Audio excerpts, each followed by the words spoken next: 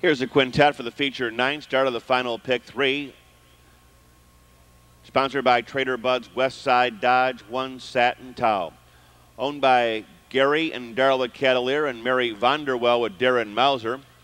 Two is Robin Lag, owned by Shakiri Patel with Jack Franklin. Three, Mudges Allisa Gail, owned by Martin Racing with Jeff Fout. Number four, Annie Cam, owned by Randy Bendis with Randy Tharps aboard. Five, Steph Kress, owned by Crest Farms. Brad Hanners will be in the sulky. Scratch number six, Perfect Gesture. That is the field for tonight's ninth race. Once again, folks, 10th race, three pocket edition.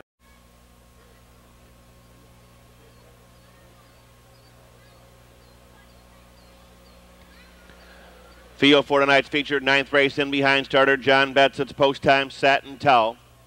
Robin Lag, Mudges, Allisa Gail, Annie Cam, Steph Kress. It is now post time.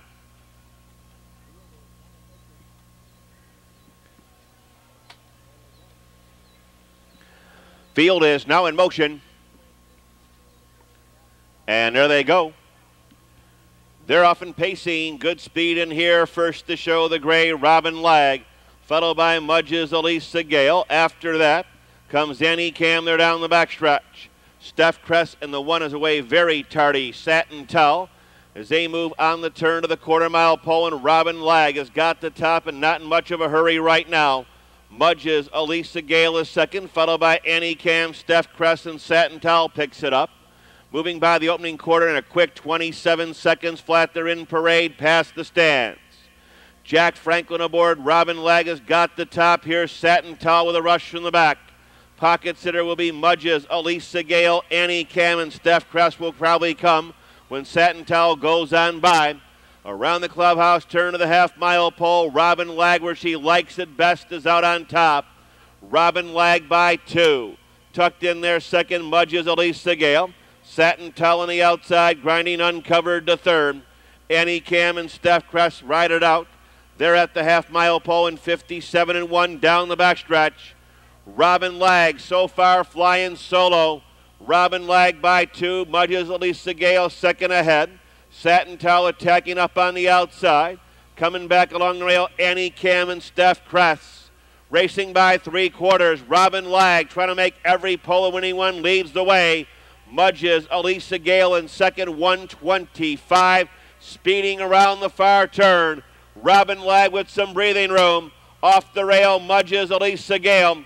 Annie Cam, Steph Kress, and Satin Towel can't go on. Racing through the stretch. Robin Lag in between horses. Mudges, Allisa Gail. Steph Kress, too little, too late. It looks like it's going to be Mudges, Allisa Gail. Tight for second. Robin Lag holds over Annie Cam.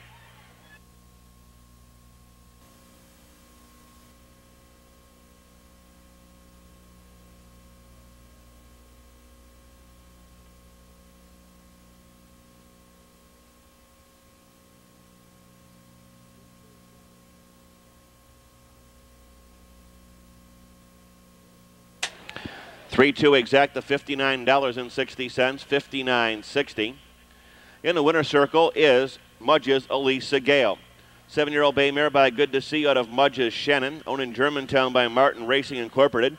Trained by Daryl Collins, given the perfect drive tonight by Jeff Fout, covering the mile in 154. Number three, Mudges Allisa Gail, the winner of tonight's ninth race, a back to back double for Jeff Fout. Post time 15 minutes away at 10:37. Once again, number three, Pocket Edition, scratch from wagering, will race.